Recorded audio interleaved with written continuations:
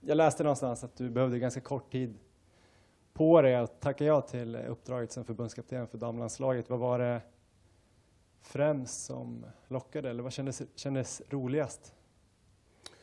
Det är många, många saker naturligtvis, men eh, jag tycker liksom under den här sista uh, eran med Pia och, och det gänget så har damlandslaget, tycker jag, verkligen lyft och gjort det till, i alla fall i mina ögon, ett väldigt attraktivt fotbollsjobb. Och, som jag har varit klubblagstränare i många år och eh, egentligen inte hade någon ja, uh, aning om att jag skulle få förfrågan så så gillar jag utmaningar och det kändes som att det, var, det här var någonting som var lite extra, lite speciellt. Och, så att det tog inte, inte lång tid att tacka ja till det.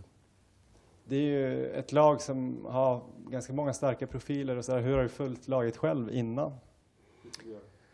Eh, nej, men jag har ju, alltså, fo fotboll när man jobbar med det är väldigt, eh, man är väldigt inne i sin bubbla och det har ju gjort att under många år så har det varit allsvensk fotboll som jag har följt och eh,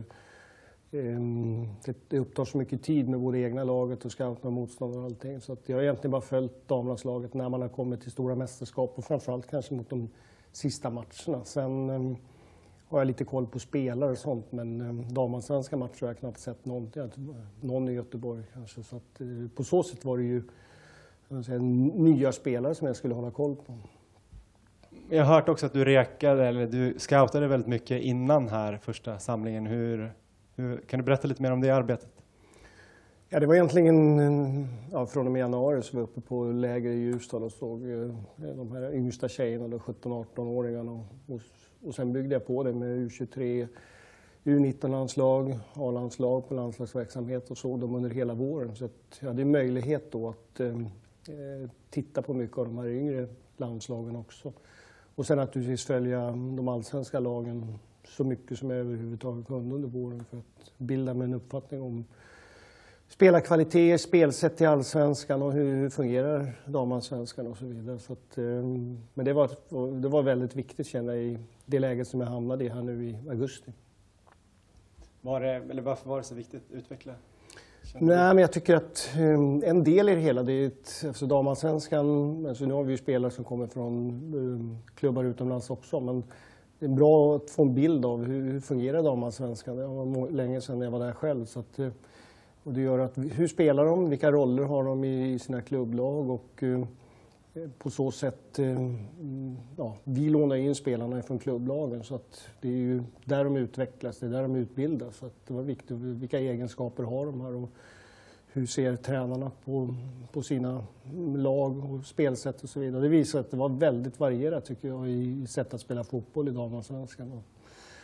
Eh, det var väl min bild också dit herrallsvenskan var på väg så att där var det väl ingen större skillnad. Och nu då när du har varit här i Kroatien eh, nästan en vecka, mm. din första samling med laget, vad är dina intryck så här långt?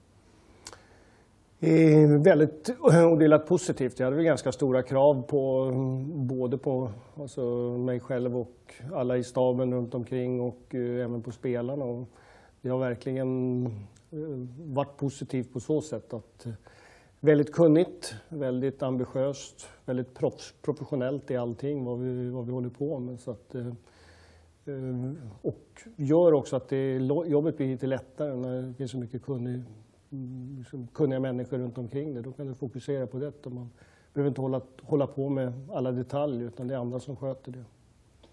Om man tänker just eh, i laget, vad är du mest imponerad av hittills? Det du har sett nu när du ändå sett dem i träning?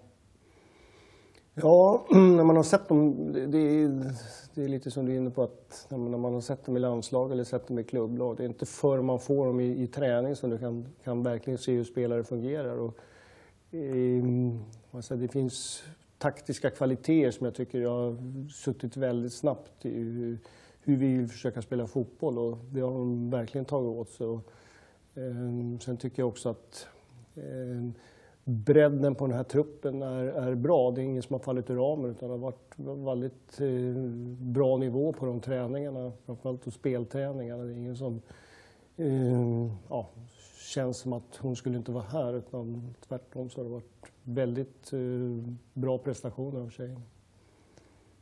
Eventuellt en gammal trött fråga.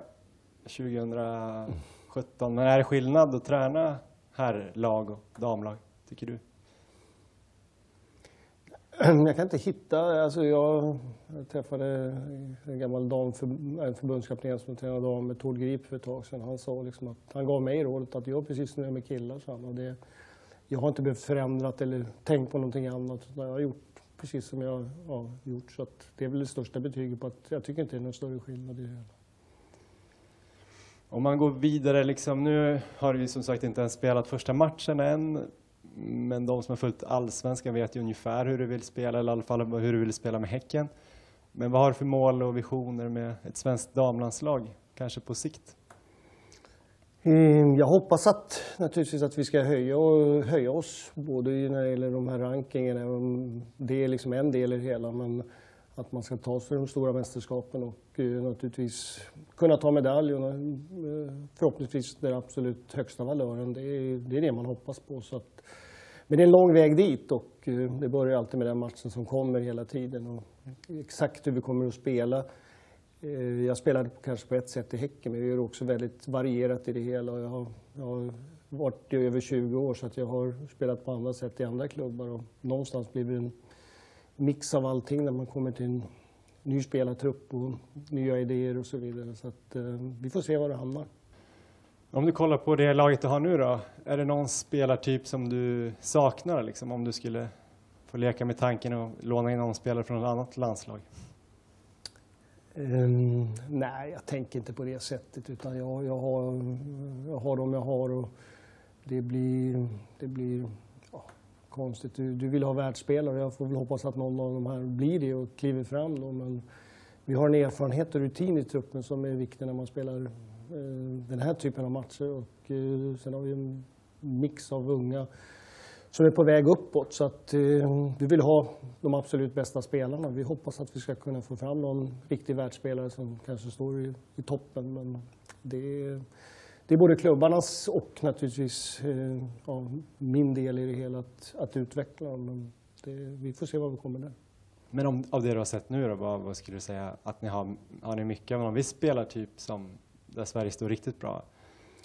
Ja, innebackarna kan man väl konstatera att de spelar i utländska klubbar och har lagkaptener och är väldigt meriterade. Så att Eh, på så sätt så har vi fem innebackar nu som spelar i, i, i proffsklubbar utom och har så hög status där. Så att, eh, där är ju liksom en, en ja, man säger, väldigt stor konkurrens naturligtvis.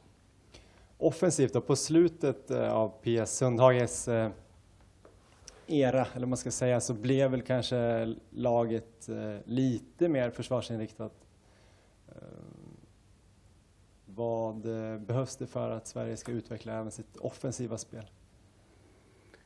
Ja, jag, jag, tror, jag tror mycket på alltså, tydliga roller, både, både offensivt och defensivt. Och I offensiven så de tydligaste rollerna är att du måste ha spelare som ansvarar för djupledsspel, du måste ha någon som har spelbredd och du måste ha någon som är passningsskickliga och så vidare. Och hitta de kombinationerna, alltså de relationerna mellan spelarna tror jag är viktigt för ett anfallsspel. Så att, eh, det är en del vi har tittat på här och försöker jobba med. Så att, eh, eh det gäller att passa ihop och alla kan inte göra mål, alla kan inte spela fram och alla kan inte vara bra på kanten. Utan hitta de spelarna som eh, passar ihop och i de rollerna, det tror jag är viktigt. En som har spelat mycket på kant och på andra positioner eh, förut, eh, Kosvara Kosovare Aslani. Nu pratas det om att hon får spela centralt här i ditt landslag. Eh, hur viktigt är det att man får spela på sin egen plats? Vad tänker du kring det, liksom, att man har samma roll i klubb och landslag? Utgångsläget är, tror jag, för, för spelaren själv att det är bra. Som jag var inne på förut, alltså, tränar man 300 dagar med en klubb i en viss position och så 10 dagar så ska du in och göra någonting annat så är det naturligtvis optimalt att man har ungefär samma eh, idéer, eh, klubbtränare och förbundskapten. Så är det. Sen kan det finnas eh, en konkurrenssituation som gör och spelsätt som gör att någon, man kan tycka att någon spelare passar lite bättre i en annan position. Men det viktigaste av allt är att är spelaren själv, att de är vakna för att eh, verkligen i så fall göra det. Så att man inte försöker tvinga någon till någonting annat. Utan eh, spelaren måste vara med på det, det är viktigt. Av de här nya spelarna då, är det någon du är extra nyfiken på?